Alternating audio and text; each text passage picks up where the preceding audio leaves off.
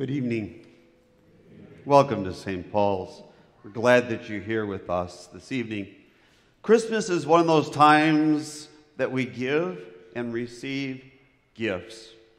Perhaps some of you have already exchanged those gifts at your home, maybe later tonight or perhaps tomorrow, but I'm pretty certain that probably every one of you that are here is probably going to receive at least one gift this Christmas.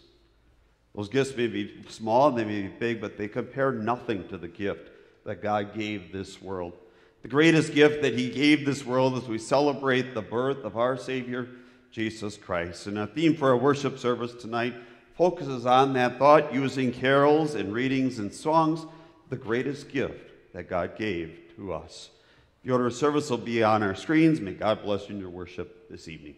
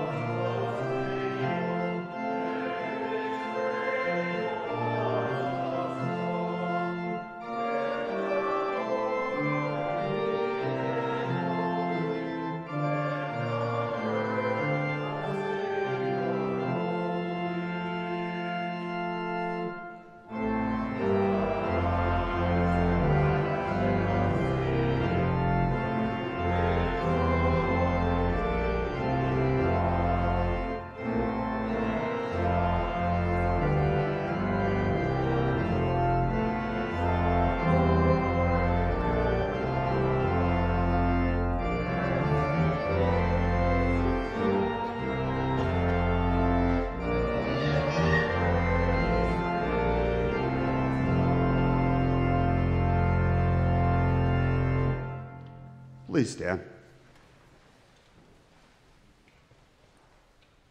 Beloved in the Lord, in this Christmas season, it is our duty and delight to hear again the message of the angels and, in heart and mind, to go even on to Bethlehem and see this thing which has come to pass, which the Lord has made known to us, the Christ child lying in a manger. Let us read and learn in Holy Scripture the story of the loving purposes of God from the first days after our fall and into the birth and glorious redemption brought to us by this holy child. Let us hear how peace was lost and how peace is restored. But first, let us pray, for this is good and right.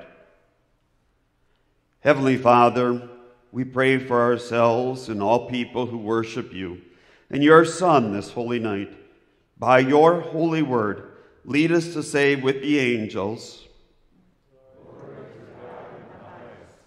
We pray for your blessing upon the people of our city, our state, our nation, and our world.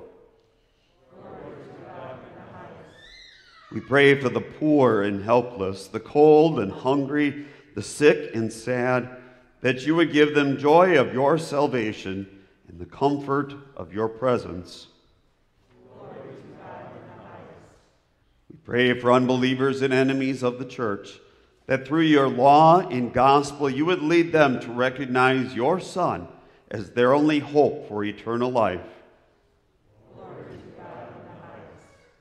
Finally, remember before you all those who rejoice with us in heaven, who live in greater light and beauty than we, that multitude which no one can number, who died in faith, and now praise you in your heavenly temple.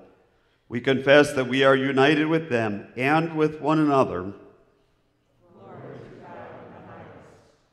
We humbly offer up these prayers and praises in the word that Christ Himself taught us. Our Father in heaven, hallowed be your name. Your kingdom come, your will be done on earth as in heaven. Give us today our daily bread. Forgive us our sins as we forgive those who sin against us. Lead us not into temptation, but deliver us from evil. For the kingdom, the power, and the glory are yours, now and forever. Amen. You may be seated.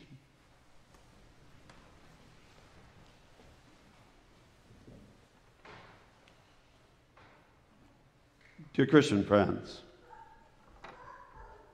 we know that there are times that we give and receive gifts that really have no practical meaning or thought with them.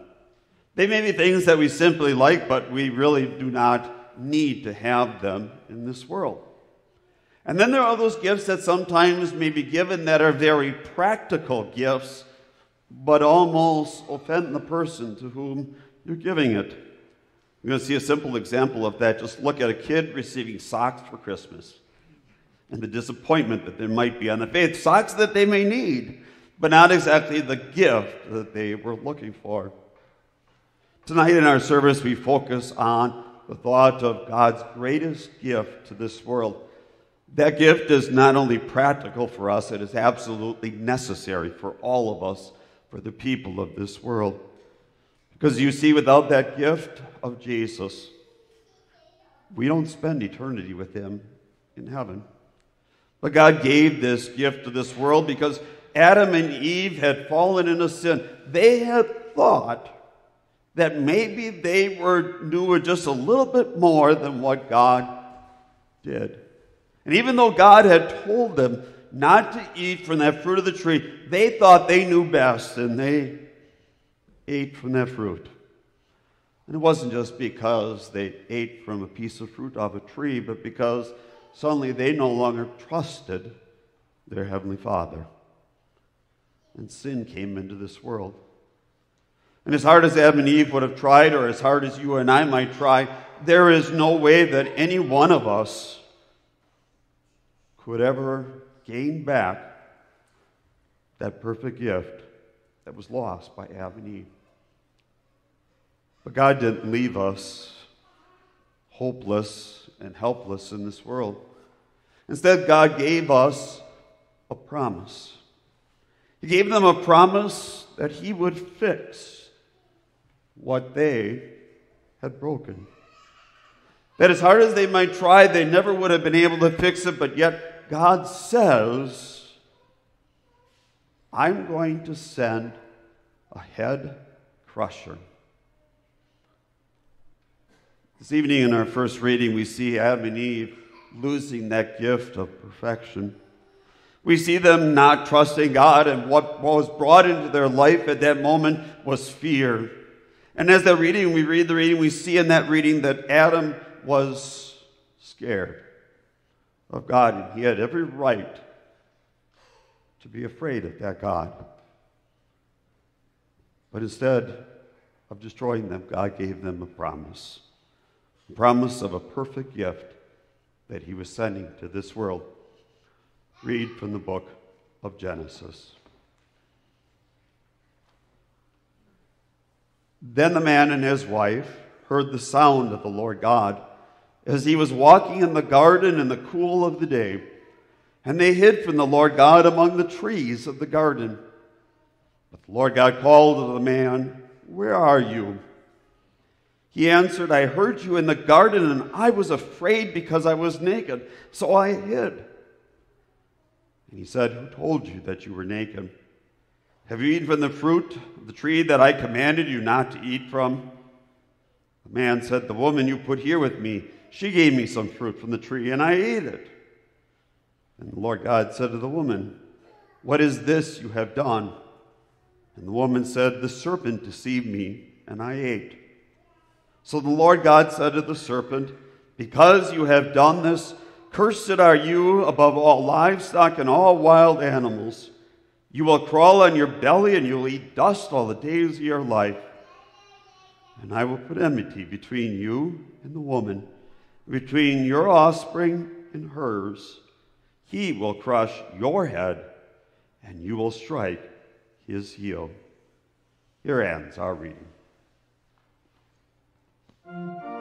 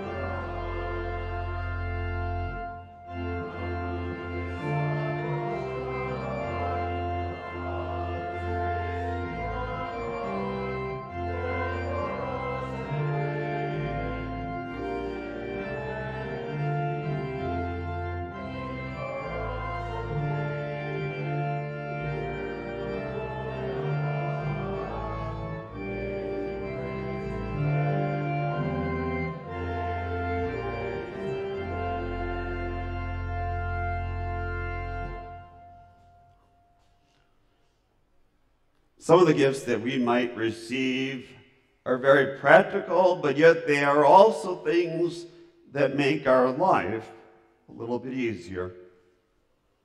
Then there are those gifts that help us to be able to do things in this world. For example, the gift of a cell phone. That cell phone may enable us to be able to communicate with people much better than we possibly ever could have in this world. But then there are those gifts that just simply are fun, aren't they? Those gifts that maybe perhaps are like a new gaming system or new toy or maybe a new car, whatever it might be. Those gifts that simply just are fun to get and fun to receive. In our next reading, the prophet Isaiah speaks about the gift that God would give this world. A gift that was practical and yet a gift that would give that would bring perfect understanding to this world. A gift, a person that would be wise and understanding. A gift who would give everything that this world would ever need to be, and that is to once again be perfectly restored to God. And that gift would be a little child born in a manger. 750 years before that Savior is born, the prophet Isaiah spoke about that gift that would be coming, the gift that is described to us. The shoot will come up from the stump of Jesse. From his roots, a branch will bear fruit. The Spirit of the Lord will rest on him, the Spirit of wisdom and of understanding, the Spirit of counsel and of might, the Spirit of the knowledge and fear of the Lord and he will delight in the fear of the Lord. He will not judge by what he sees with his eyes, or decide by what he hears with his ears, but with righteousness he will judge the needy. With justice he will give decisions for the poor of the earth. He will strike the earth with the rod of his mouth. With the breath of his lips he will slay the wicked. Righteousness will be his belt and faithfulness the sash around his waist. The wolf will live with the lamb, the leper will lie down with the goat, and the calf and the lion and the yearling together, and a little child will lead them.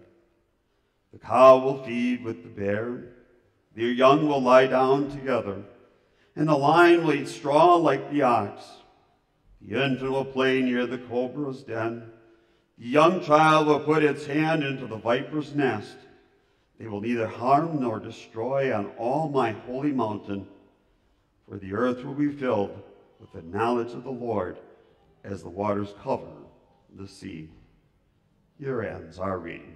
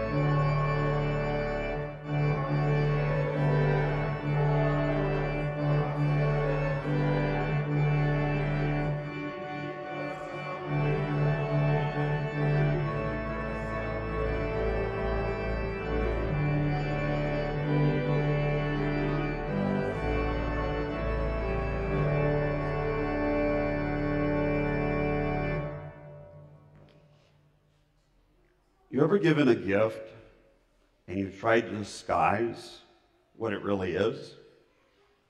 Maybe some of you have already done that because I know I have done that already, where you put a gift in a box, and a box, and a box, and a box, and a box, and maybe throw a brick or a rock in there so you can totally throw off the person who is getting that gift, right? Ever done that? God didn't want us to be guessing about the gift that he was going to give this world. He didn't want us to be wandering around, wondering if that was the gift, or that person was the gift, or was this the year or not. As the Old Testament continued, God would reveal more and more detail about the gift that he was giving.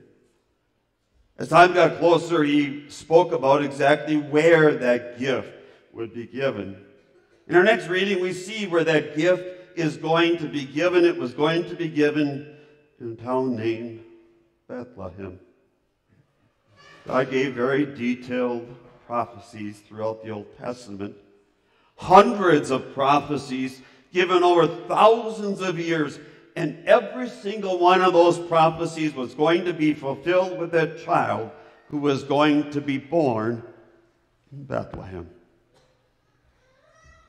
And because God tells us exactly who this gift would be and where he would come from, and as we'll see exactly what this gift was going to do, you and I can trust the promises of our God. We can trust the promises of our God because he tells us exactly where this gift would be born. In our next reading, we hear about that gift being born in the city of Bethlehem. But you, Bethlehem Ephrathah, though you are small among the clans of Judah, out of you will come for you one who will be ruler over Israel, whose origins are from of old, from ancient times. Therefore, Israel will be abandoned until the time when she who is in labor bears a son, and the rest of his brothers return to join the Israelites. He will stand and shepherd his flock in the strength of the Lord and in the majesty of the name of the Lord his God. And they will live securely, for then his greatness will reach to the ends of the earth. And isn't that prophecy being fulfilled here this evening? On the opposite side of the world of where that, first, that gift was first given, it has reached the ends of the world. Let us sing about that in our next hymn, O Little Town of Bethlehem.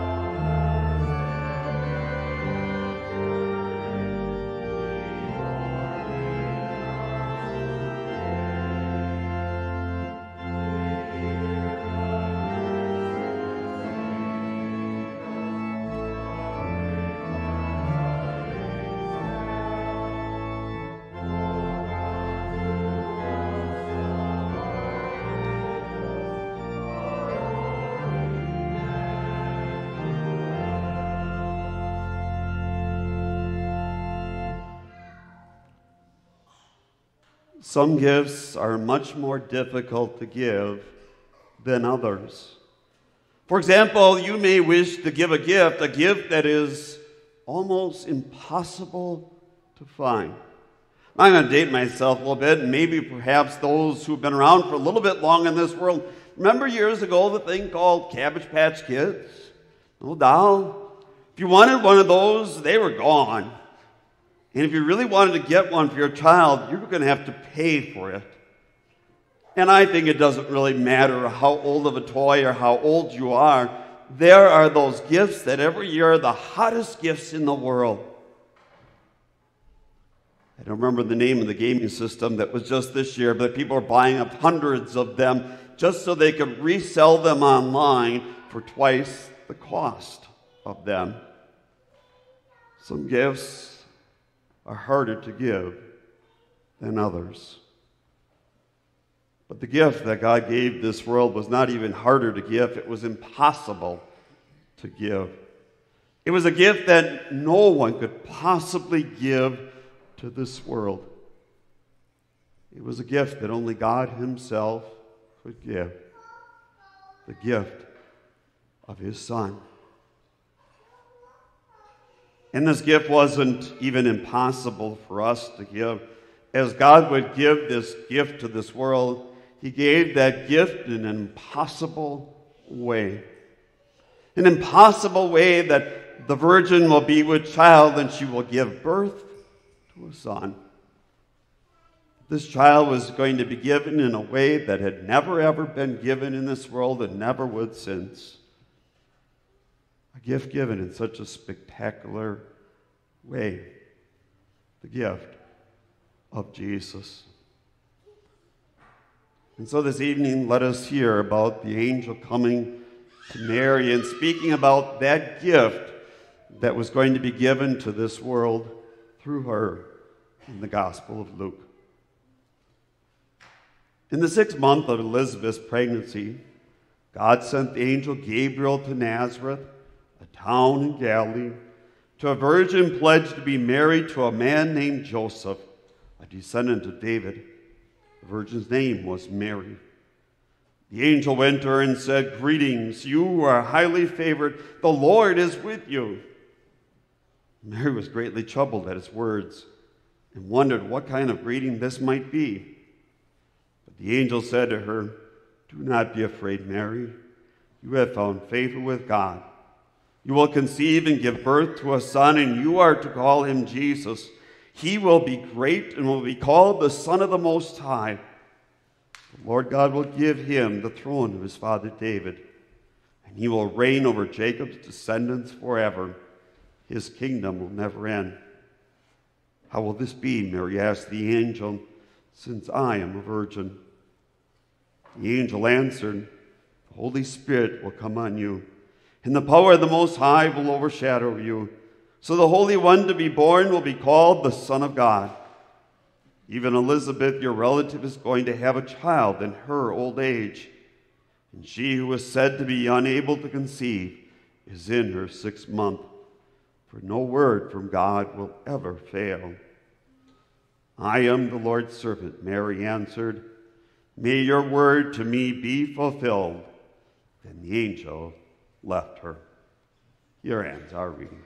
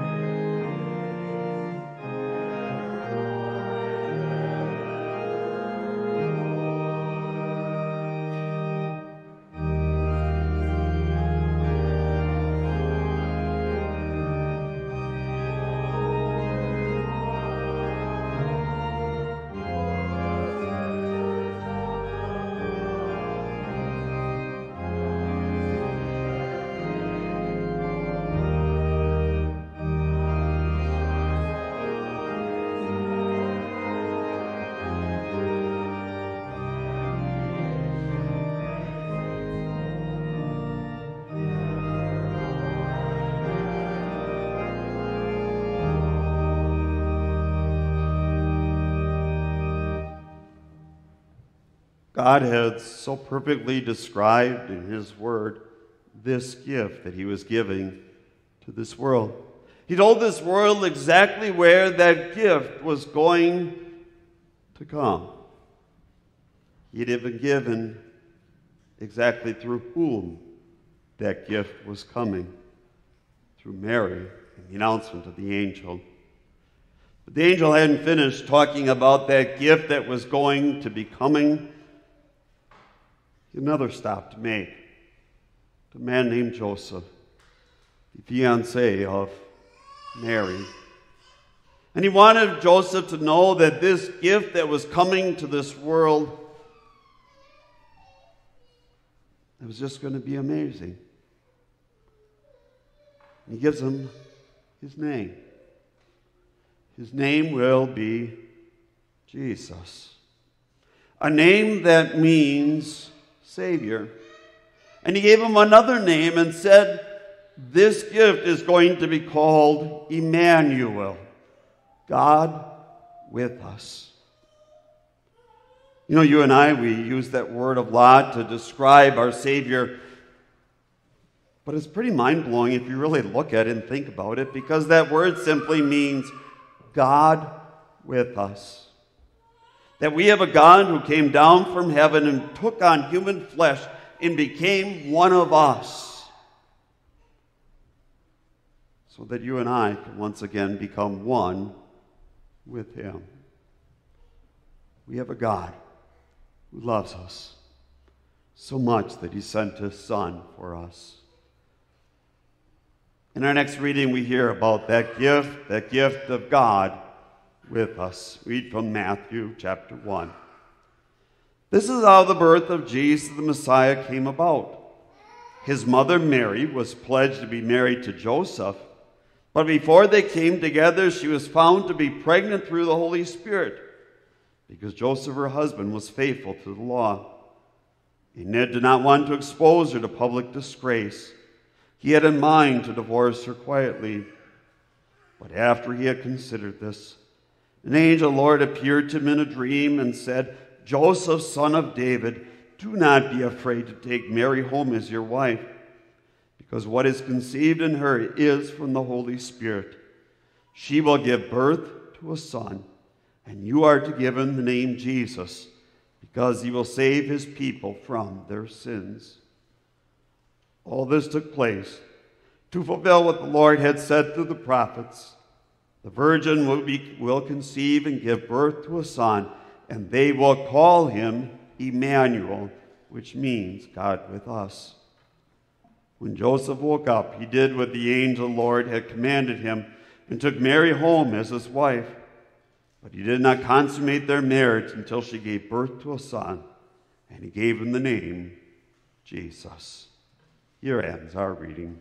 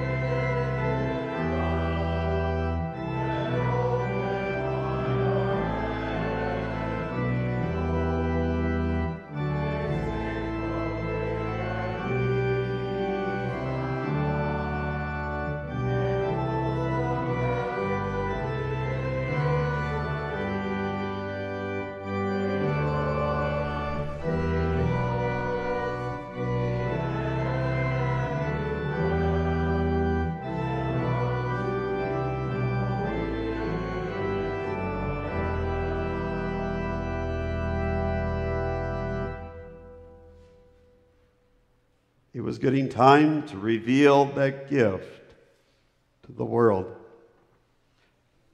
Anyone who is ever involved in any kind of marketing, you know that it is so important for to build up some hype to the introduction of that product. That you want this world to know that on this day it's going to be the world premiere of everything, and everything will be out there in the open. The lights will be on, everything will be there in front. You would think if God was going to reveal his son to the world, he would have done it in a way that no one could have missed. But on that night, outside of the town of Bethlehem, who really saw that gift. Some angels that would be on the hillside. If you were in Bethlehem, you might look at that gift and the child and say, lying in a manger, and say, Is that it? Really? A gift that was given to two people who, really, in a lot of ways, were nobodies in this world in a town that was really a no place in this world. But there in the manger is the gift of God, our Savior, Jesus Christ. Into this world, that gift is made known to all people. To every person that has lived on the face of this earth, that gift has been given to them as well. God's gift arrives. We hear that account as we read a portion of Luke chapter 2, the gift arriving to this world. In those days, Caesar Augustus issued a decree that a census should be taken of the entire Roman world. This was the first census that took place while Quirinius was governor of Syria, and everyone went to their own town to register. So Joseph also went up from the town of Nazareth in Galilee to Judea to Bethlehem, the town of David, because he belonged to the house and line of David. He went there to register with Mary, who was pledged to be married to him and was expecting a child. And while they were there, the time came for the baby to be born, and she gave birth to her firstborn, a son. She wrapped him in cloths and placed him in a manger because there was no guest room available for them. Here ends our reading.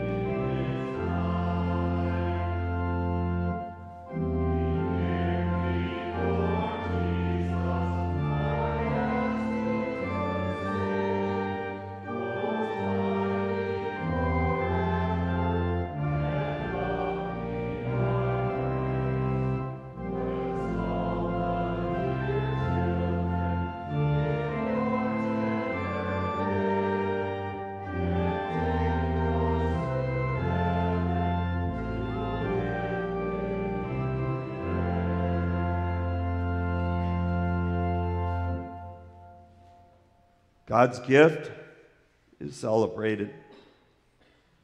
You ever gotten one of those gifts that you really, really, really wanted? One of those gifts that you thought perhaps you would never ever get, and you open up that present and there it is. What do you do? You're filled with excitement, aren't you? The smile gets as big across your face, and perhaps you even got to make a phone call to someone, and you just got to tell people what you got because it was such an incredible gift. That's what happened on that first night outside of town of Bethlehem. As that gift was revealed in that little manger, in that little town, in that little stable, the gift was still celebrated. The hosts of angels that appeared on that hillside, and they just simply had to praise that gift given to this world. And those shepherds that saw it, they were like that person who opened up that gift and couldn't contain their excitement, and they just went out and they told. They just had to tell people about this gift, this thing that had come to pass, this gift that the world had been waiting for since the beginning of time the gift of Jesus. May you and I, not just tonight, but in every night and every day of our life, celebrate that gift who has been given to us the gift of Jesus in a manger in Bethlehem. Because today in the town of David, a Savior has been born. Amen. We read as we continue in Luke chapter 2. And there were shepherds living out in the fields nearby keeping watch over their flocks at night. An angel of the Lord appeared to them, and the glory of the Lord shone around them, and they were terrified. But the angel said to them, Do not be afraid. I bring you good news that will cause great joy for all the people. Today in the town of David, a Savior has been born to you. He is the Messiah of the Lord. And this will be a sign to you you will find a baby wrapped in cloths and lying in a manger. And suddenly a great company of the heavenly hosts appeared with the angel, praising God and saying, Glory to God in the highest heaven, and on earth peace to those on whom his favor rests. When the angels had left them and gone into heaven, the shepherds said to one another, Let's go to Bethlehem and see this thing that has happened, which the Lord has told us about. So they hurried off and found Mary and Joseph and the baby who was lying in a manger. When they had seen him, they spread the word concerning what had been told them about this child. And all who heard it were amazed at what the shepherds said to them. But Mary treasured up all these things and pondered them in her heart. The shepherds returned, glorifying and praising God for all the things they had heard and seen, which were just as they had been told. Here ends our reading.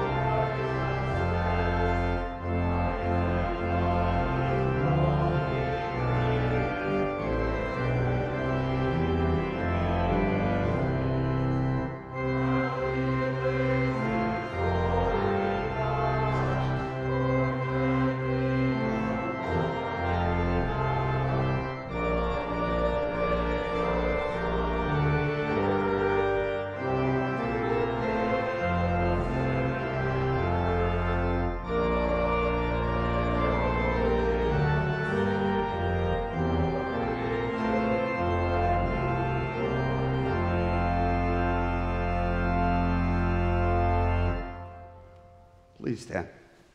We pray.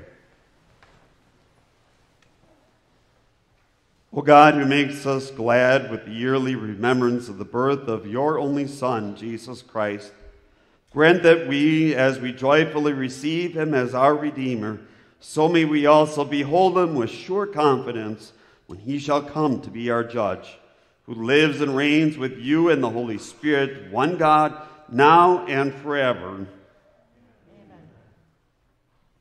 May he, who by his incarnation gathered things earthly and heavenly into one, fill us with such joy that comes with the knowledge of the forgiveness of sins and the hope of eternal life.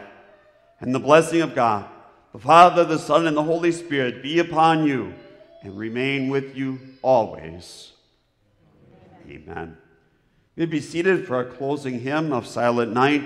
The first two verses will be sung by our soloist this evening congregation is invited to join along with that is just to please note that's a little bit different melody, a little bit different feel to it. Um, a silent night, so just kind of listen with that. If you feel comfortable, you may join with that. You may also light the little candles that you have right now, and if we could turn down the lights in the church as well, it'd be great.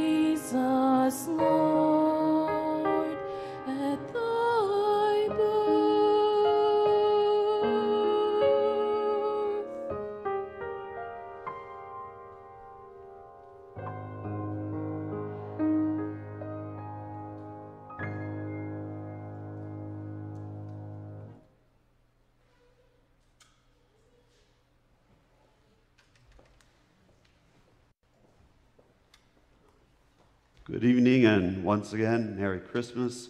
Thank you very much for joining us here this evening. You certainly are invited to come back and join us tomorrow morning. Christmas Day, our worship service will be at 10 o'clock tomorrow morning.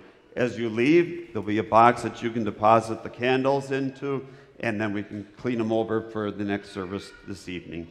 May God bless your Christmas.